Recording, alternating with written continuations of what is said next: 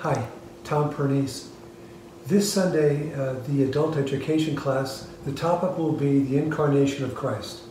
So we're going to address a problem that the early church had to grapple with, namely, just who was this Jesus and what was his nature? What was his personhood? Was he a divine person or a human person? Did he have a human nature or a divine nature? What is the relationship between personhood and, and nature?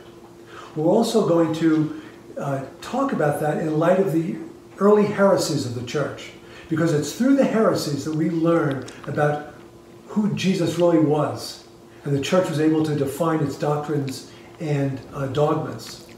We're also going to discuss um, why didn't the Jews recognize Jesus as their Messiah, as well as what proof do we have for the existence that Jesus even existed. So it's a, it's a meaty class, and I look forward to seeing you uh, this Sunday after the 10 a.m. Mass starting at 11.30. Thank you.